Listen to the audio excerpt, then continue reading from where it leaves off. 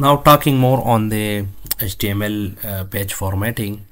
So if we see this uh, page and refresh it so we cannot see we will not see any underlined text.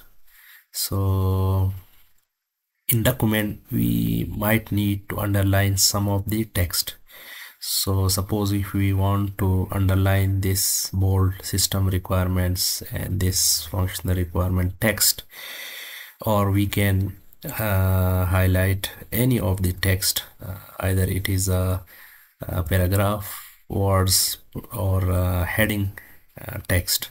So we can do that using the uh, i italic uh, sorry u underline uh, tag element. So suppose if we want to make this h3 and this h3 heading as underline so what we will do? We will use uh, u u for the underline. And we will also close this u uh, tag using uh, u u for underline.